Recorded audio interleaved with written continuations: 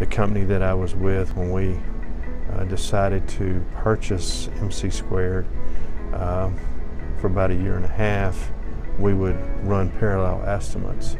We would do the estimates by longhand, uh, paper calculator, scales, whatever. I would be over in a separate area using MC Squared. We call that, you know, duplicating estimates, parallel estimates to make sure was it the right was it doing the right calculations on all the structural frame? How is it to work with architectural input? Those kind of things. My first reaction was, oh well, here we go again, learning another estimating software. What's this going to be like? Then I found out what that estimating software not only has estimating capability, but it has takeoff capability as well. So that was the wrinkle for me, was you had two programs that were combined into one. The um, hesitation, if you will, would have been how are those two going to work together?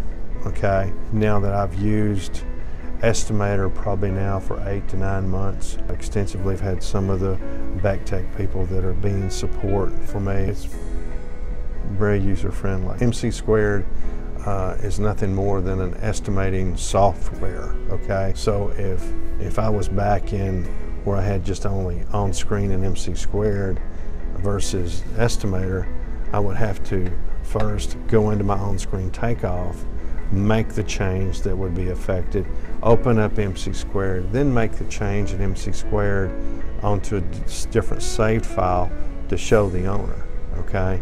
Whereas I, on Estimator, I'm very, very easily able to show them very quickly on the fly, you know, when they want to change a certain thing.